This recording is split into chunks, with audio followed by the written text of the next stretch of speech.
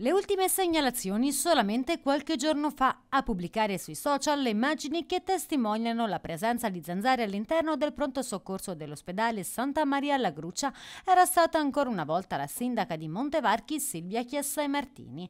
Adesso l'ASLA Toscana Sud-Est annuncia una nuova disinfestazione dopo quella effettuata tra l'8 e il 9 agosto lungo tutta l'area perimetrale della struttura e che si somma agli altri trattamenti sia interni che esterni effettuati sino ad adesso e in programma programma anche nei prossimi mesi concordati con gli uffici tecnici do patenti sopralluoghi. Dunque, dalle 20 del 10 agosto alle 8 dell'11 agosto sarà effettuato l'intervento di disinfestazione straordinario delle zanzare all'interno del pronto soccorso dell'ospedale Valdarnese.